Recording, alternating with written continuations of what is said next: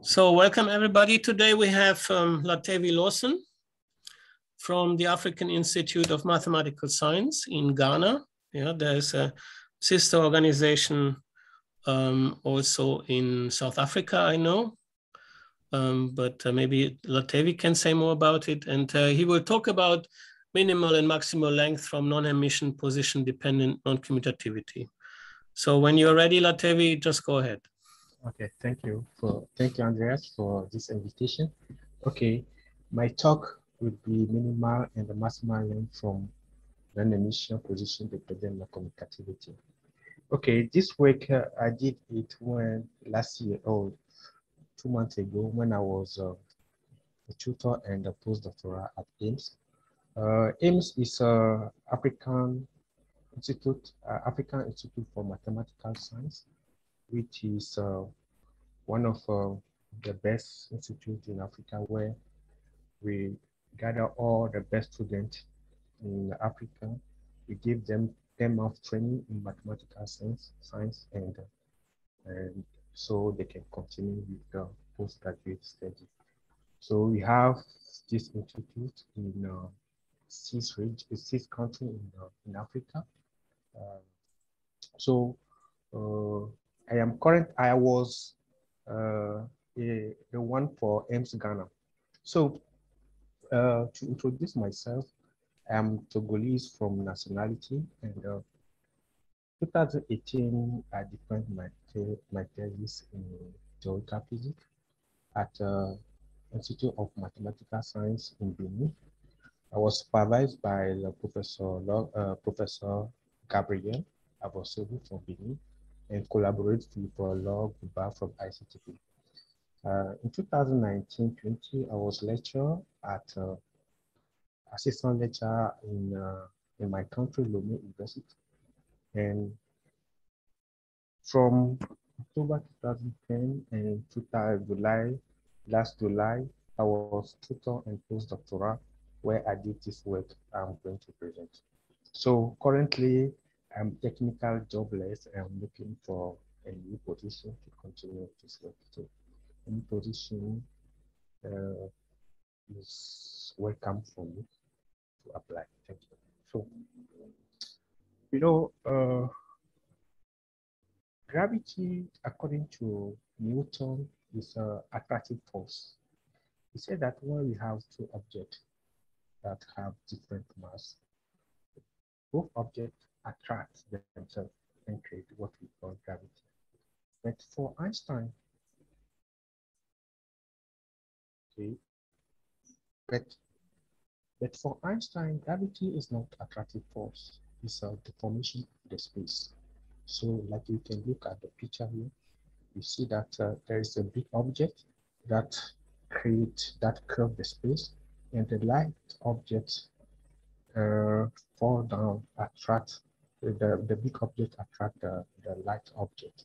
So it's what we call by gravity according to Einstein. So what is the property and characteristic of the gravity according to Einstein? So gravity is created, becomes stronger for heavy object. Heavy object curve the space and the surrounding light objects fall down for low energy. And uh, the time inside of uh, this whole run out slowly in such a way is what we call the dilatation of uh, the time. Another property is of gravity is uh, uh, strong gravitational force, strong gravitational induced contraction of the length. This is also predicted by the gravity according to Einstein. So we also, they also predicted the existence of the black hole, where the information in the, at the inside of the black hole is projected, virtually projected at the event horizon. So it's what we call by a gravitational holography. So here, like you can look at this, the picture here, we have uh, the gravitational, down the virtual image here. And uh, the source, the real image is from somewhere here uh, this the which is the image. So this is some of the properties of the gravity according to Einstein. So my first question studying this subject is, can we recover this object, this sub, uh, this characteristic in um, in quantum mechanics? So because for me, if the classical mechanics is out of the quantum mechanics, this property can happen. So this is my first question. I put it aside and I continue. So another subject that interests people today is the unification of the four fundamental forces that govern our universe. We have uh, these four forces are can be grouped into category of uh, theory, which is uh, which are uh, the quantum mechanics and the general relativity. So unify these four forces today means that to unify general relativity to quantum mechanics, which will give birth to what we call by quantum gravity. So there is so many subjects, there's so many candidate theory that try to unify both theory. Like uh, we have loop quantum gravity, string theory, double special relativity, and so on and so on. So the common point of all this theory is that all this theory predict the existence of the minimal measurement. So in the paper of Kempf, Achim Kempf and his collaborator, he proposed this algebra in the form the Heisenberg algebra by this parameter beta, and they call it the gravity correlation to quantum mechanics. And they compute the uncertainty principle and they get what we call the minimal length, which is proportional to the Planck length. So all these candidate theory of the quantum gravity produce this length scale. So like we can look at this on the figure here, you can realize that uh, uh, this minimal length is a deformation of the space and they create what we call the singularity here. So taking account of the this minimal length in quantum mechanics, have many consequences uh, that this minimal length induces. We have the singularity of the, the space representation. Uh, the, we have the loss of the self-adjointness and the helicity of the operator. And this minimal length creates also the fuzziness of the space and induce non-commutative commutativity of the. We have also violation of the Lorentz symmetry and many, many properties that uh, on the experimental aspect, probing this length today with uh, nowadays technology is very difficult because we need this energy, this energy to probe this minimal landscape, which is today beyond any Uh, experimental possibility. So, like Feynman said that whatever your theory is beautiful, if it's not proved by the experimentation, is wrong. So, once we cannot get this energy, so the minimal length scale is difficult to prove. So this led me to my second question is, is it possible to prove quantum gravitational effect with a low image Because quantum gravity exists. But the problem is the extremely high energy that we need to look at. So the question is, can we prove this quantum gravity effect for low energy? So this is the second question. So uh, in 2017, uh, these scientists proposed uh, something. They proposed that we can have uh, minimal length at the end of the paper, if you read it, it's proposed that we can have minimal length and uh, maximal length at uh, the Planck scale. So uh, 2010, after my PhD degrees and uh, because I focus on the paper of Andreas and the law and English is the paper that I studied during my PhD degrees. The proposed uh, position to problem. In their paper, they say that any object in there in this space will look like a string, will look like string. So focus in their algebra, I propose answer to the previous paper where I find that I said that we can have also an addition of the minimal length, we can have the maximal length.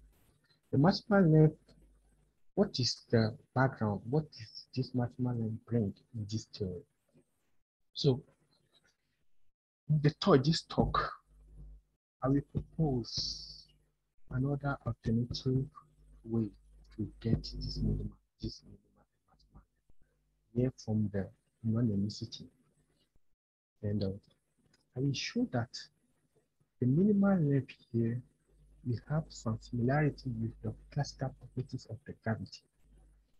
And for my third question, for my third uh, uh, uh, point, I will show that the minimal length uncertainty that we have have some connection with uh, the non-Hermitian quantum mechanics scenario that we know.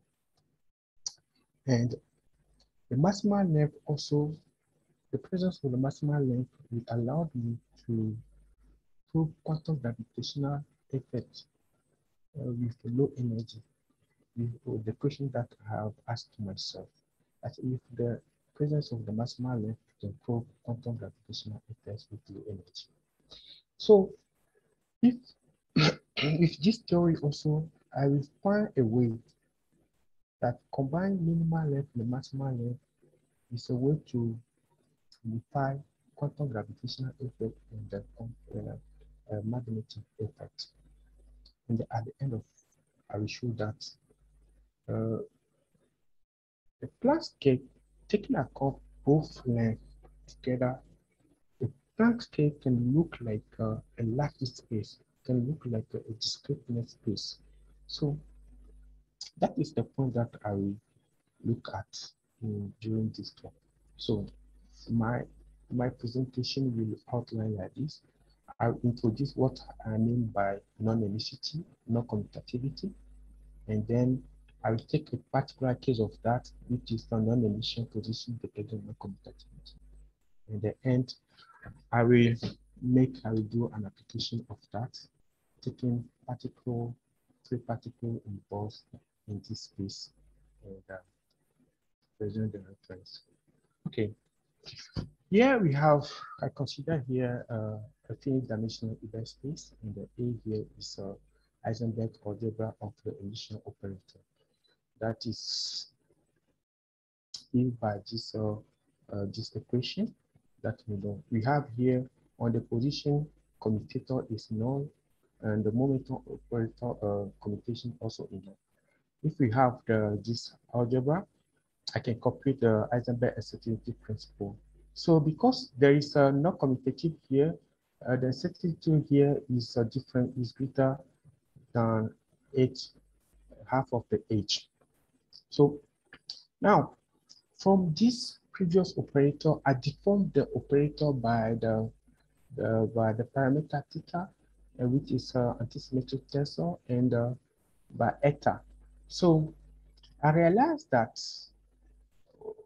this deformation still conserves the unicity of the both operator. And at the end of the day, the Hamiltonian function for which we take account both operator is also an issue.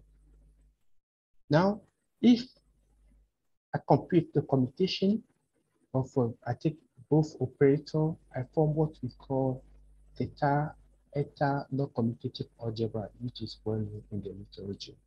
So from that now I get a new additional uncertainty principle because here is not commutative. I have now a uncertainty measurement here in this point also. The third point is uh, I want to define what I mean by non-Hermitian non-commutativity. So I consider another operator capital S and uh, capital P here. And uh, these capital S and P are defined by the parameter alpha in such a way that if I take the limit alpha to zero, I recover the previous operator. Now, uh, I define this operator. Once I have this definition, I can write the capital operator and the P operator in, in terms of the previous one like this. And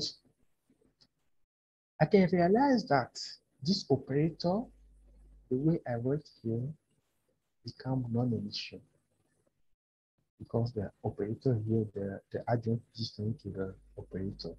So taking these both operator, I can form what we call by non-Hermitian non-commutativity because the algebra that I get here is from non-Hermitian operator.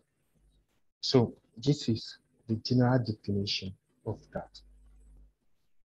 So since, like I mentioned that both operators are non-Hermitian, so the resulting Hamiltonian is also be non-Hermitian. So consequently, so we have the spectrum of the Hamiltonian will be will be complex. We have a non-unitarity of the operator, and then we have no the uh, uh, we have non-orthogonality of the basis. The question is, how can you recover the unicity of this operator in order to recover the properties of the quantum mechanics? Because uh, to do the quantum mechanics, we just need at least the unicity. If the unicity is is guaranteed, we can start by doing quantum mechanics. So, but my, the situation is that I lost all all those information, so it's impossible to to do quantum mechanics. So, therefore, I define by this operator over here, which is defined by this is uh, element of this algebra, is non-Hermitian operator. It's well known in the literature that you can associate this operator a b orthogonal eigenvector and bi orthogonal eigenvector in such a way that this operator you have the eigenvalue uh, eigen problem like that. So now to recover the unicity to connect this operator to eigen, we introduce an automorphism like uh, Ali stuff uh, introduced in the paper. So by this relation, we can connect this operator to the agent in a way that spectrum become real. Now, taking account of this new operator and the, the inner product also will change given by this expression. So it's uh, something is, is, you know, is well known in the literature. And uh, from that, we can define, we can factorize this uh, operator like a product of the Dyson map. And uh, to get the Dyson map, we take just the power of the half of the the, the homophagic uh, integral linear operator. And using this operator and make it what we call the, uh, the similarity transformation, we can connect non-Hermitian operator to Hermitian operator, which is uh, which is uh, Hermitian. So, and uh, also we can connect the eigenvector of the initial uh, operator to to uh, a, non-Hermitian by this relation, something that is well known in the literature. And that is the tool that I will use to for my special specialty. That is the general definition what we know in the literature. So we come to the point. Now, in 2010, based on the Andreas and the law and previous paper, I proposed something like that.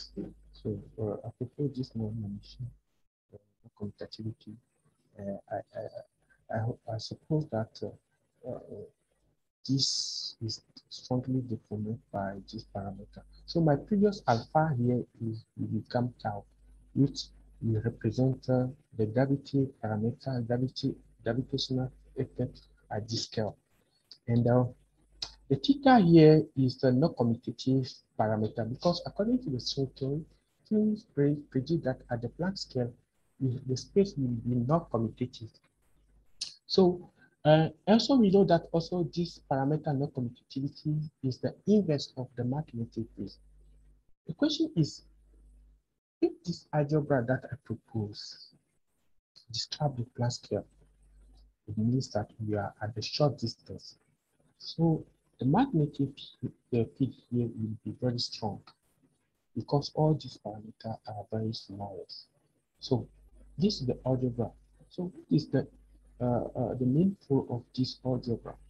Now, if I take the tau, which is the gravitational parameter here zero, I recover the well-known non-commutative uh, uh, deforming non-commutative in two dimensions. And now, the previous uh, operator can be written in of the, the first one by this relation that I have. I can realize that the operator S here is deformed by uh, the parameter tau, and uh, P also is deformed. Uh, this one is uh, is invariant. So we should that we see that there is information that is high in all these uh, deformations. Now, if I compute the non-Hermitian, I realize that this uh, uh, deforming operator and become non-Hermitian, and therefore the P also become non-Hermitian. So what is the, the sense of this one? It means that there is something that is hard, which is which is the cause of the non-anisotropy of this operator. This, if you have in the in the theory of the gravity, because in all the theory of the gravity will be something that at the Planck scale, the operator will lose the, the. And this can be interpreted like uh, uh, the vastness of the space in this direction because we cannot precise, we cannot get in precise way the, uh, we cannot measure in precise way gravity in, in this direction. Now, if we take Hamiltonian or for taking account Hamiltonian of this operator, Hamiltonian also will not uh, be Hermitian. So we have to solve this problem. Now, uh, as an example, we can take uh, a free Hamiltonian and we compute in this case if we compute the uh, the Hamiltonian agent, we can realize that uh, there is uh, an additional term that is added to this one, make the difference between them, that you have the here. For the harmonic oscillator, we can have the same thing if we make the same computation as well. We can have that there is uh, additional term here which make the difference between the the uh, uh, this Hamiltonian and the agent.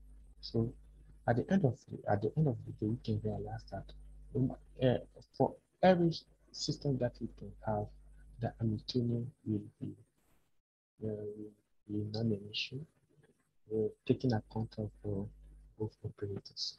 So now, like I, I, proposed in the subject in the previous sub, uh, subsection, uh, I propose this Dyson map, which is uh, just copy what yes, uh, collaborated. And uh, propose also this uh, associate operator. With this operator, I will try to recover the elasticity uh, to, guarantee, to guarantee the reality of the spectrum and the elasticity of the operator. So now the next point is to compute the, the minimal effectivity measurement. So once we have no commutative algebra, the first point is to compute the uncertainty principle. Because we have generalized this algebra, we call this one a generalized uncertainty principle like uh, active frame uh, uh, Kempf have did the paper of 1994. So now the problem is so we have to for each set of the algebra we have different interpretation. I take the non-commutative part here. I compute the executive principle. And at the end of the day, I get a minimal length and the maximal length. So the minimal length here, I have theta and uh, the tau here.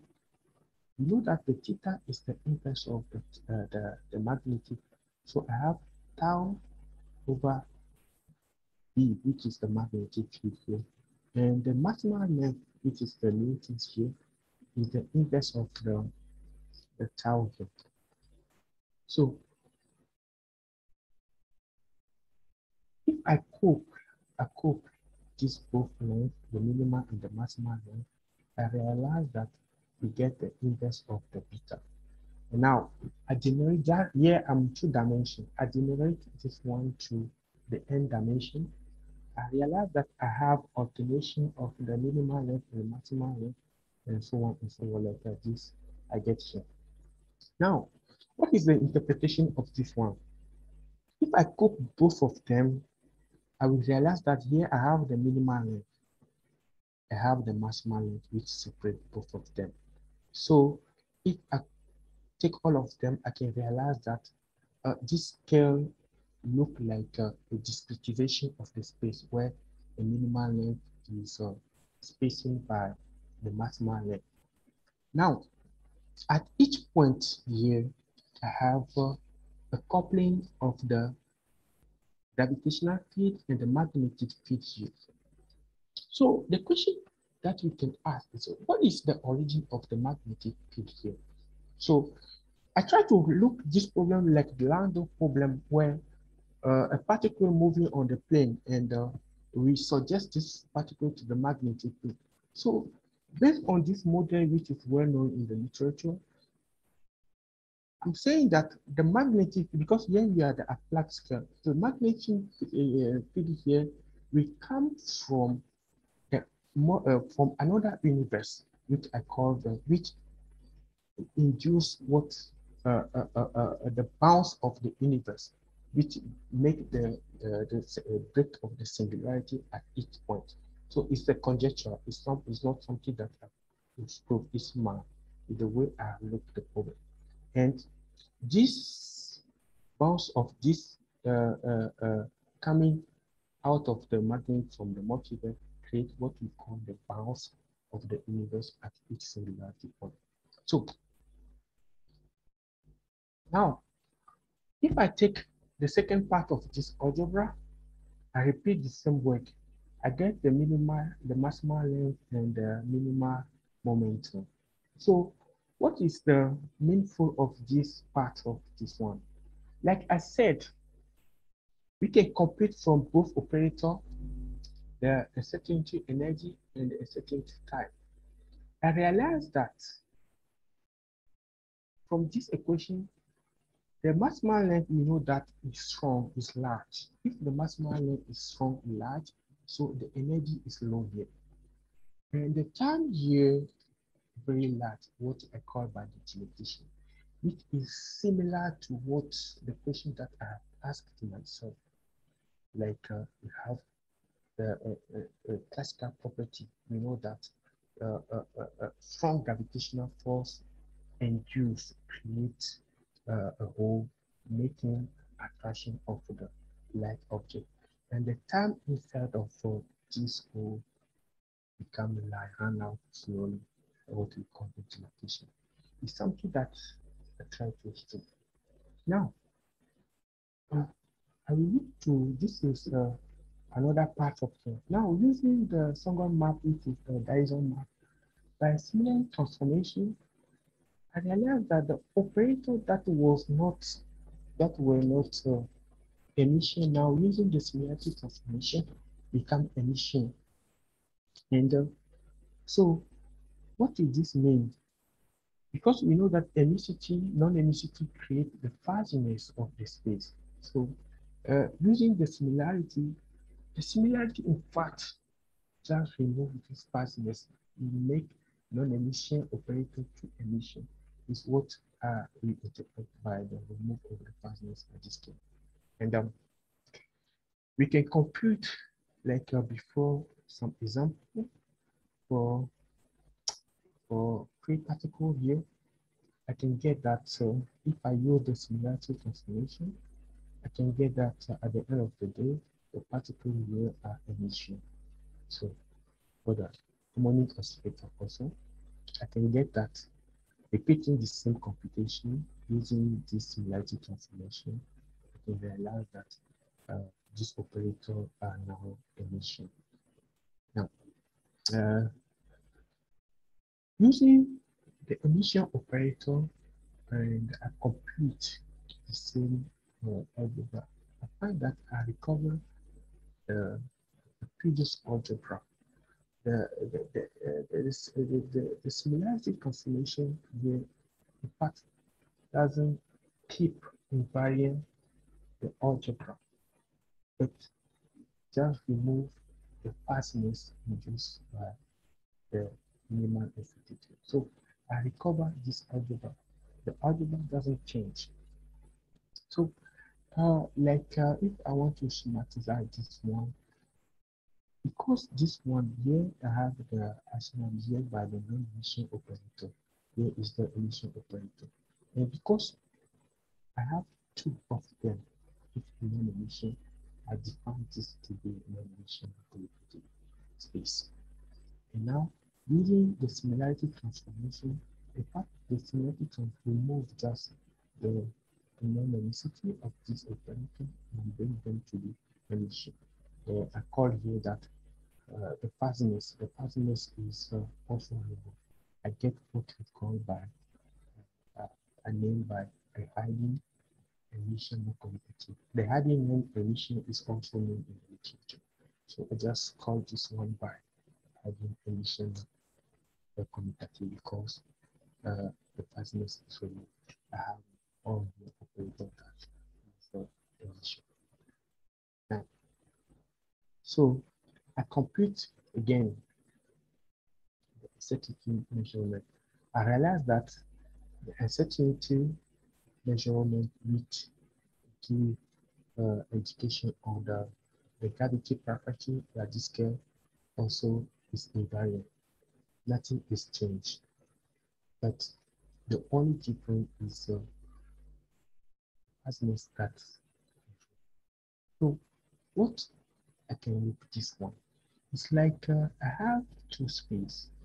This space is like uh, I have a hiding space here, which is uh, virtually projected here that I call uh, uh, uh, space. So by the similarity transformation, so I have here the the minimal length here, the minimal length, the minimal length, and uh, at as like I mentioned before, at each minimal length, there is a bounce of the bounce of the uh, universe, which is created by the magnetic field. So, uh, to represent what I try to say is something that I like. Uh, uh, I, try, I try to figure out here. So now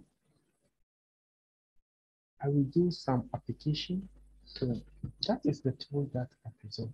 Now, uh, I would like to compute a particle now, a free particle in this hiding Hermitian space, and look what happened. So, like the, the hiding Hermitian operator is given by this one. Uh, I already compute. Now, uh, compute. If I have the operator, I can um, compute uh, the Schrodinger equation. So I have in two dimensions here. So I can decode the operator, uh, the wave function, uh, uh according to x direction and y direction. And the eigenfunction also is addition of uh, uh, eigenfunction in x direction and y direction.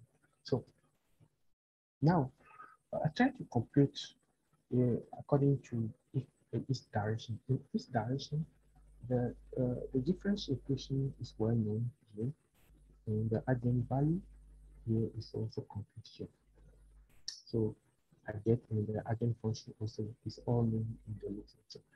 It means that in the east direction, the, part, the, the motion of the particle is not influenced, it's free. So now I want to compare, I'll take this one at witness and then compare to what happened in the y direction because at the y direction, the particle is influenced by the uh, gravitational parameters. So the equation is transformed that I have to solve here is transformed on this way, where uh, I, I, I introduce uh, m of y that we call the position dependent mass. So my previous problem now is transformed to another problem of uh, a semiconductor with uh, we name uh, m of y like uh, po uh, position effective mass. Uh, this model here is used to to in semiconductor to to measure the structure of the particle in condensate matter. So the model that is proposed as a, position efficient mass is here. In my case, I have the parameter tau, which is uh, the gravity, gravity quantum gravity parameter. So in this position dependent mass is influenced by the tau. It means that at each position, the mass of the particle change. So this changement is due is due to the parameter tau uh, tau here, which I mean by quantum gravity parameter. Now, I, I try to plot these lines. I realize that when I increase the this length, the, the tau, when I increase the tau, the position dependent mass also increase. What this means? It's like uh, the the parameter tau increase the mass of the of the uh, uh, the mass of the uh, uh, uh, uh, of this particle. The mass of the particle increase with the tau. Now, this let me something to let let me imagine something. I'm saying that if the gravity parameter induce the increase of the mass, so we can something in laboratory uh, uh, uh, we can propose something like that. That suppose that you have this one is the mass of the uh, is the the mass of the the particle at the position one here. Now, using taking account of the quantum gravity here as I suggest, the mass will increase. I will have another position here, which is emitted PDM2. And in such a way that if I make the difference between both lengths, I can have something that reflects the gravity parameter. It's a proposition that because based on these things.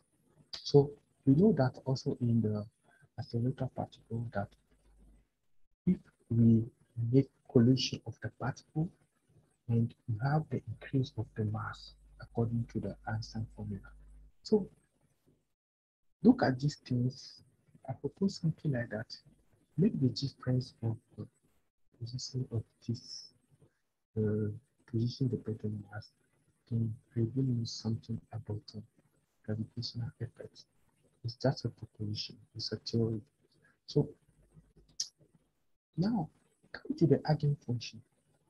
When I compute the eigenfunction, I realize that uh, I can express the eigenfunction in terms of the eigenfunction in this direction. I realized that the eigenfunction for tau is less than the eigenfunction here, which means that the energy decrease when I increase the n. So I try to plot. Now I make here now uh, I have the eigenfunction. I compute the eigenfunction, I get this formula, and I compute the non-commutativity uh, of this one and I plot the this part, this formula, the non-orthogonality, I get, I realize that at this scale there is a fluctuation of um, the wave function at this scale. This flash, since we are at the Planck scale here, this quantum fluctuation will be only a quantum gravitational fluctuation, It means that we are in the transition uh, space here. So this is the what we get from the wave function. Now I try to combine uh, the eigenfunction from both directions at this direction in the oh sorry it should be uh, y here. So if I combine both of the uh, the energy, I get a general formula like that, and I plot the total in the eigenvalue. And what we can realize is what, according to this graph, I realized that by increasing the quantum level, uh, because of the gravity parameters, the, the, the energy level is curved, is deformed, and this deformation is pronounced more and increase the quantum level. Enable the particle to jump from one state to another one with a low energy. So I try to mean that here, the particle move from one state to another with low energy. The particle doesn't need too much energy to make this transition. Is what we can look at from this second figure here. You can realize that when I increase the parameter the, the of the energy decrease before the parameter is an increase of the tau. Now, this is uh, what I get as first result. I plot the wave function. I combine both of them. Like I mentioned before, in the east direction, the particle, the motion of the particle is uh, is free. In the y direction, the particle is uh, is strongly perturbated by the parameter tau. Now, I complete both of them. Have something here in the first plot here. I take the parameter tau to be zero and uh, at the fundamental state n equal to one. The, the, the plot in blue here is the, the wave function in uh, s direction and orange here is the wave function is uh, in uh, y direction. Here at the first plot, I have a synchronization of both them because the tau is uh, approximately to zero. Now I try to increase the, the value of tau at the lower state. I realize that uh, the wavelength starting contract from the first one. Uh, this contraction is more pronounced when I increase the value of uh, the tau. So I go to the second level, I can realize that uh, the wavelength in, in general are contracted, but when I increase the gravity parameter here, I still realize that the wavelength is contracting according in respect to the first one. And we can increase also the number of level. Uh, I still realize the, the same property. So this property can be look like um, there is a the contraction of length like we know in the in the classical uh, in the classical classical words. So the fact that in y direction the length the wavelength is contracting in the e inward makes that means that okay the parameter tau here is the cause of this one because uh, in s direction everything is is is invariant so this figure show me that there is something that reflects the contraction of the length and like a percentage. And now I try to combine compute uh, the density the density probability for both things. What I realize is what I realize that at the first state for for a phase value of the tau for n equal to 1, the probability to find the particle are practically everywhere. So the particle is densely, is, uh, the presence of the particles is very strong at the lower level. And if I increase the number of the quantum level, this particle, this density particle uh, probability density increase when I increase the number of the particle. And this strongly increase when I go to n equal to n is 15 n to 15. It means that uh, this property is reduce uh, uh, uh, density of the uh, the density of the particle is very increased taking account the maximum which is the things that I get. So to summarize this uh, I did is uh, I said that the maximum length tau here increase the position dependent of the mass, induce total gravitational fluctuation. Induce compression of the wavelength.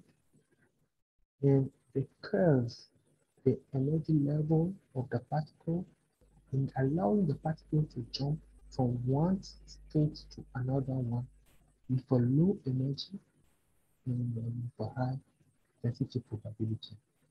To summarize what I did is what it can uh, we can return like uh, the property from by the introduction of the mathematics, which for me is similar to the Pascal property of the gravity as I discussed. Now, uh, as a this one is I really want to not to talk about this one, but uh, it's just an imagination. Uh, I'm thinking that what I propose here can have some relation with other field of uh, of science like uh, quantum biology.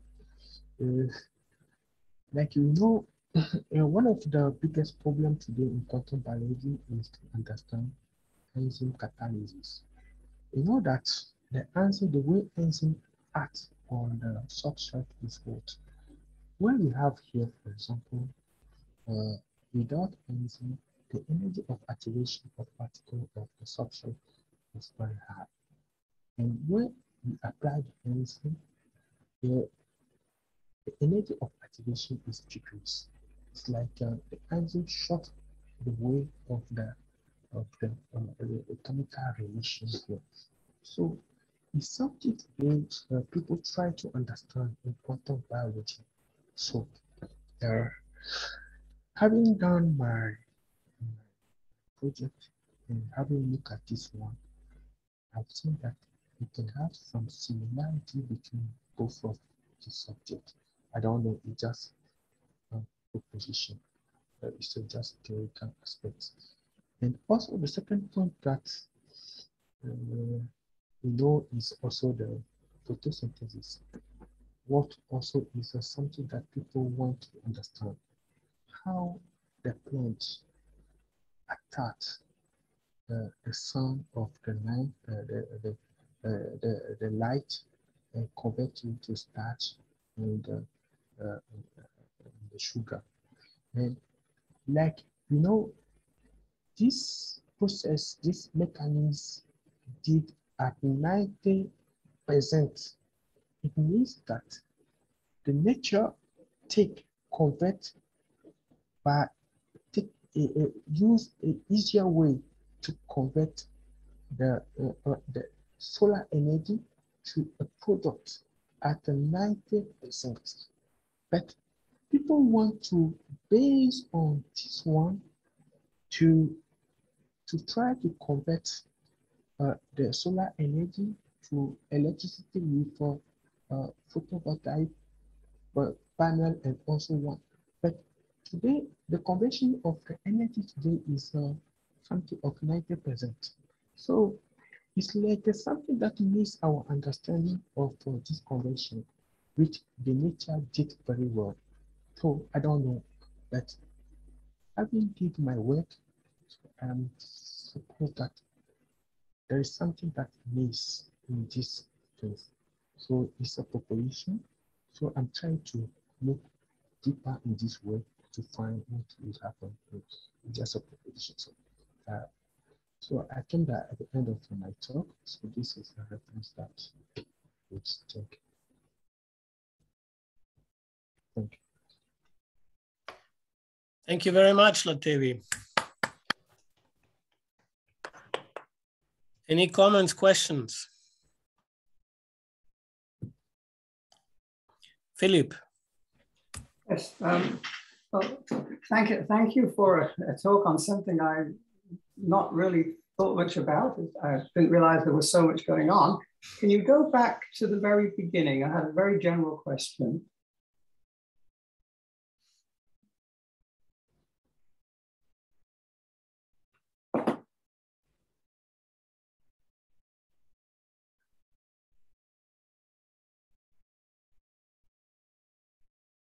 When you first, uh, that's it, the, the, where you gave the commutator of x hat with y hat, had it a moment ago. Okay. I think it was earlier. It was earlier. We, we had the you had it involve the uncertainty principle. Yeah. Yeah, that, that there there it is. Now now um, you had okay, looking at the delta x delta p is one plus beta delta x squared. Oh, sorry, sorry. It should be delta p. Sorry, delta What? p. It should be delta p here. It's a mistake. Oh, so, It's what a it's, it's a p here. It's not s. It's a p. It's a oh, p. uh, okay, I see. All right. Yes, it's a p. Um, but it means that the top line, the xp equals ih bar i plus beta p hat squared, that's an operator identity. And the second line is in whatever state you calculate those matrix elements. Is that correct? yes. So it's true for, it, it basically is true for every state. Uh, please, can you come again with your question? The, the, the delta x delta p greater or equal to h bar over two is, is true for every state in the Hilbert space. Okay, so no, no, no. It's not. We have many kind of uh, minimal left here. Well, with the, the delta p squared. Once I change, uh, uh, uh, uh, modify here, I can get a new things here.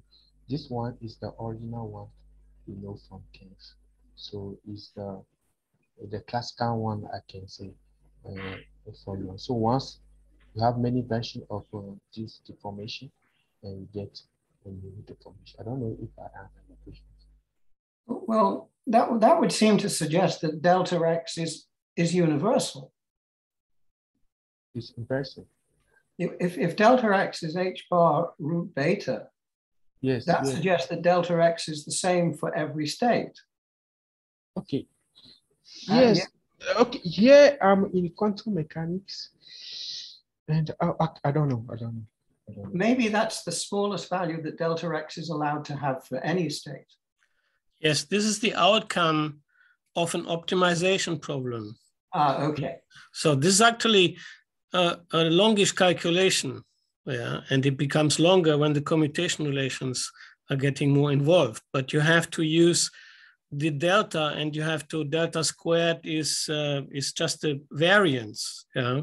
Yeah, yeah. And then you have to replace it, and you have to replace the p squared on top, yeah, and sandwich it between states, and then you optimize it, and then the red line is the outcome of that long calculation. That's the minimal value you can have. I see. Now, the other thing I think you, that's very nice. Now, the other side is, is there a maximum value to delta x? Yes. You have maximum value. Yes, is there a maximum value to delta x? Because otherwise, if delta x becomes uh, very, very large, you, you basically lose quantum Yes. mechanics. Yes. yes.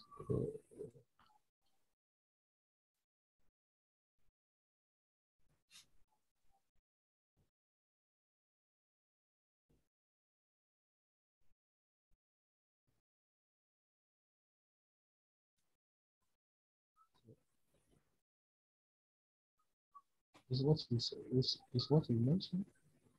Please. Yeah, but what, I, I understand that. Why should the, I, I- just missed, why should there be a maximum length? Yes, uh, okay, yes. i- like uh, Andrea said, we repeat the same computations and uh, uh, we we get simultaneous profile. So I see. Okay. I, I developed this method uh, is in the, the attached paper of uh, Okay, so. You can No, no, I'm, I'm not, I'm not questioning whether you're correct. It just seems to be that you're starting out with an inequality. Delta x, delta y is greater than something.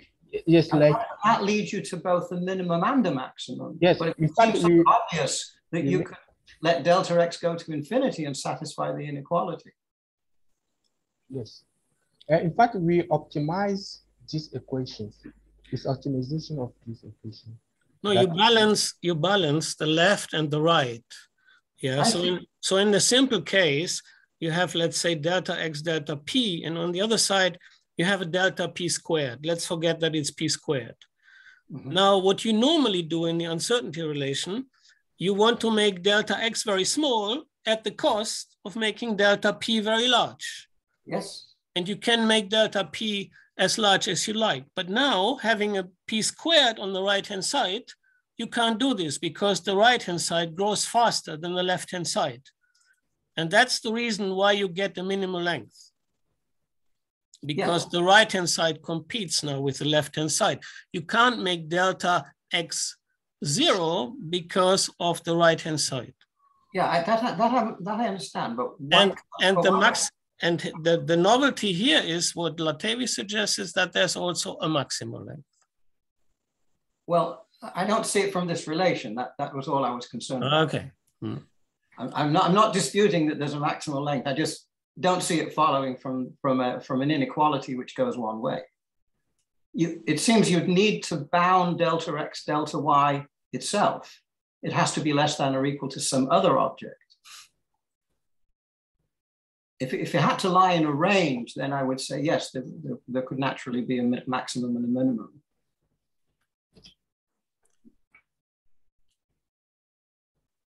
Tevi, you want to answer this or? Okay, I, I, I'll try to guess the question, but uh, oh, I don't really understand it. I think what he's saying is, what he's saying is, once you have a delta minimum, yes. then the other quantity, whatever is p, and in this case is y, has yes. at the equality is maximal. Yes, sure. That's how, how large you can make it. I think that's the interpretation. Okay. Okay. Yes, of course. Yeah, that's that's what he's saying. Mm. All right. I, I have a question on on the or comment more on on page 26. Um, in a way, you answered that already. Um, 26. Okay. Yeah, 20, 26. Um,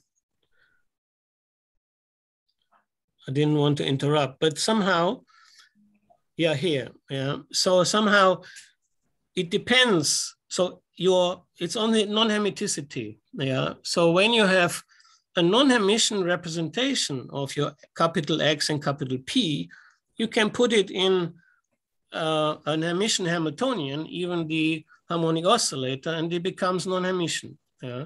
But there are Hermitian representations for these algebras as well. And sometimes they're not obvious at all, like the simple Kempf algebra. Yeah? Mm. xp is 1 plus p squared, has a standard non-Hermitian representation, um, um, but it also has an Hermitian representation if you take x to be x sure, and, sure. and p to be tangent P with some constants uh, in, in there as well, mm. then you have a perfectly well-defined Hermitian representation. And then it doesn't, your, hem, uh, your Hamiltonian doesn't become non-Hermitian. Sure, sure, sure. Yeah, so it's, it's not intrinsic, but it's kind of covered later on where you have the hidden uh, non-hermiticity. You construct some Hermitian representations in some way, but there are more, that's what I'm saying. Mm. Even for the simple Kempf algebra, we wrote a paper. There are four different types of representations. And one of them is Hermitian, actually. Okay, yes, yes, yes. Any more comments?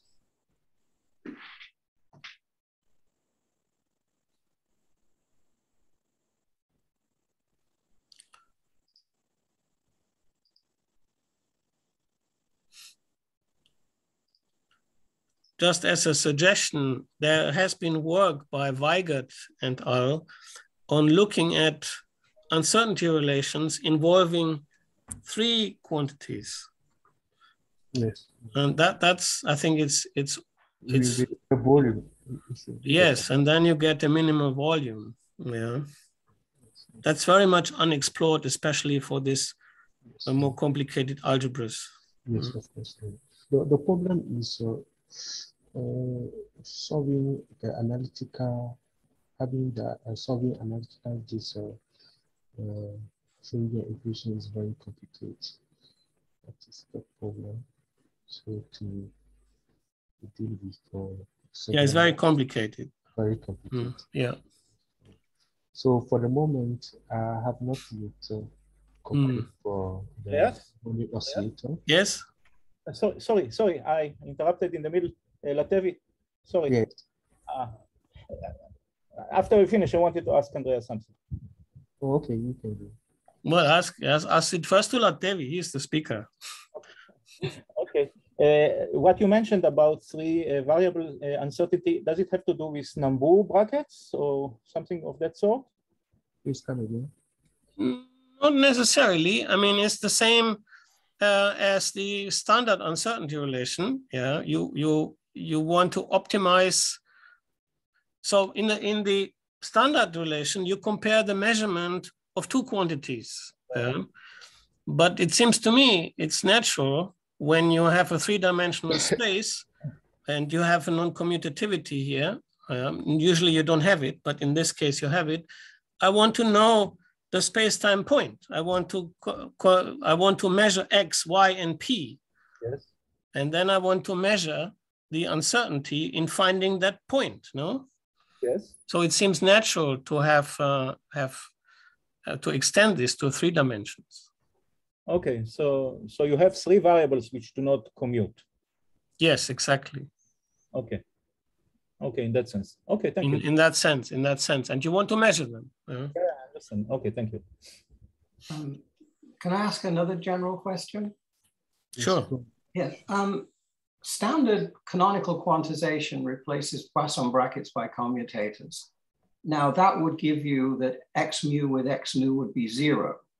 So is there some kind of generalized Poisson brackets involving classical x mu and x nu, which would be non-zero?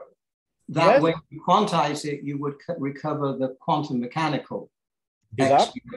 Dirac brackets, for example, for the Landau problem, the classical Landau problem, use Dirac brackets. X and Y will not uh, commute under Poisson brackets. Okay, so uh, so you're you're saying yes, there is, uh, but then if if the if if classically x mu with x nu is non-zero, it's equal to something with dimension of length squared. But that length squared cannot be the Planck length because you're in you're in classical physics. Oh, but that's the uh, magnetic length. It's it's uh, proportional to inverse B. Inverse the Oh, you, you mean you mean it does not occur in the absence of a magnetic field? yeah. The, I said the Landau problem. The No, no, no. But that okay. That, but what I meant was, is there any? You, you've given me one example, but that one had a magnetic field. Is there any example without a magnetic field? mm, not that I know of, but it doesn't mean it, that there isn't. But Well, I, it, see, the problem is there have to be some classical fundamental length. well, it's the it's the theta variable. Uh, where does it come from? I don't know. You can you can have a classical analog of the theta. Uh, uh, No, I, I don't mind. I, I, I don't mind. I mean, but there see- is no there is no experimental uh, evidence for its existence. well, Cla- there's no experimental for a quantum mechanical either. But I mean, but the question I'm raising is discussions of quantum of quan- of of quantizing gravity within the framework of things like string theory assume the existence of a Planck scale, which is which was intrinsically quantum mechanical. Could there be some antecedent of that, where there is some scale in classical physics prior to quantization? That, that, that's all I'm asking. well, you're Or, asking, or is it one of the one of these aspects of quantum mechanics that has no classical analog? no, you are asking if I can make a length scale out of C and uh, Newton's G and without H bar. Is that is that your question? Not necessarily. It doesn't have to have anything to do with, with Newton's G. I mean, I'm just asking: Are, are there are there intrinsic length scales in in classic in classical physics that would lead to a generalized Poisson bracket between x mu and x nu that was non-zero and was specified by that scale?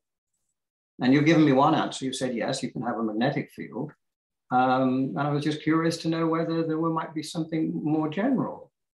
Not unless unless you put it by hand and call that parameter Well. I, I don't mind. I, I mean, since people put the Planck by hand anyway, I, I- don't see why I should.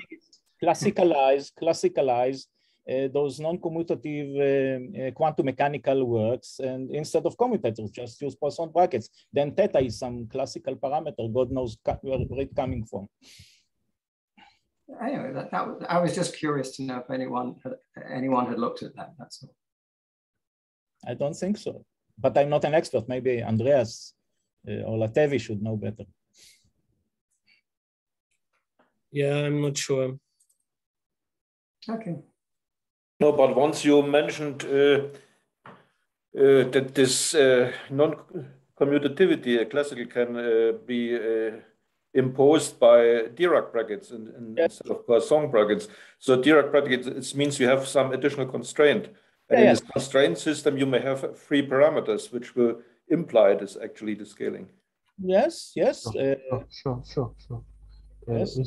yeah, sure. Is uh, one of the two used in the loop quantum gravity because yeah exactly yes loop quantum gravity also uh, predict this scale predict uh, minimal length so in, in this scenario we proceed by the Dirac bracket by putting constraints yes exactly yes so so the constraint so the Dirac uh, bracket is a generalization of the Poisson bracket and yeah, so, so, so, yeah, so the scale comes in the constraint Mm, yeah, so yeah, exactly. Yes.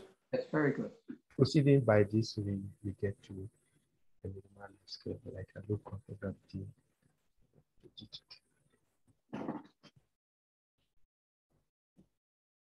More questions, comments?